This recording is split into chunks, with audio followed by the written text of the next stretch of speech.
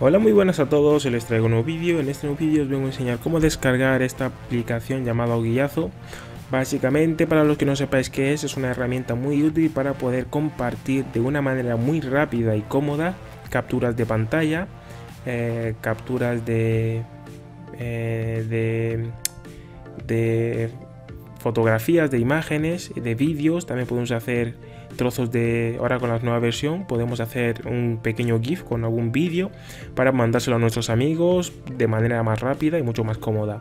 Eh, ahora os voy a explicar un poco el funcionamiento de la aplicación, pero yo os digo que es una herramienta súper útil que os va a hacer más fácil la vida para tema de compartir eh, capturas o imaginar que queréis hacer un pequeño tutorial a un amigo o queréis enseñarle rápidamente un vídeo, la captura de una escena de un vídeo que estáis viendo o queréis mandarle un trozo de vídeo y no queréis subirlo a ningún sitio, pues hacéis con esta herramienta un pequeño GIF eh, y que pesa muy poco, compartís el enlace con él, porque esto se subiría a los servidores de, de, la, de esta herramienta y vuestro amigo en un sencillo paso posiblemente hace clic y ya puede ver eh, lo que habéis compartido y descargárselo. Bueno, para poder hacer esto vamos a ir a la descripción del vídeo donde os he dejado un enlace a mi página web donde os he preparado un artículo que os va a llevar a esta página de aquí. Una vez aquí en la página vamos a darle aquí donde pone download, le damos a guardar, esperamos a que termine de descargarse. Una vez que haya terminado le damos un clic para abrirlo.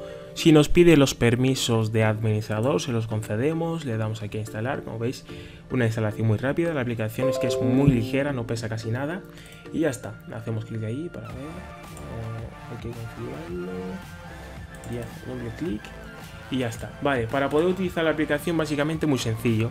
Ahora imaginad que queremos compartir rápidamente lo que viene a ser esta pantalla de aquí. Pulsaríamos la tecla control más la, control, eh, la tecla C. Control C, vamos a ver si me deja. Control Shift C. Vale, perdona, me he equivocado. Es Control Shift Ahora en pantalla os estaré poniendo las teclas que son exactamente. Control Shift eh, C, la tecla C. Y nos sale ya eh, esta herramienta de aquí, le damos eh, el rango de pantalla que queremos compartir, como veis habéis escuchado un sonido de captura, ya se ha hecho la captura, ahora automáticamente se nos va a abrir la página web de, de Guiazo donde vamos a poder descargarlo y compartirlo con nuestro amigo. Esto tardará un poco más o menos, dependiendo de vuestra conexión de internet, porque la captura se hace y se envía rápidamente a los servidores. Así que vamos a esperar un poco a que nos lo abra. Vamos a ver.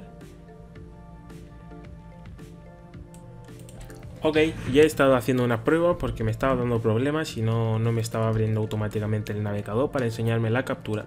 Así que lo que hay que hacer es presionar control eh, shift C, como habíamos hecho anteriormente, volvemos a hacer la captura y automáticamente se nos ha pegado en el portapapeles control V en cualquier sitio. Y aquí ya tendríamos lo que viene a ser la, la URL para compartirlo con nuestro amigo. Bueno vamos a ponerla aquí en el navegador mejor. Y como veis nos va a llevar aquí a la página web y como veis allí lo tenemos.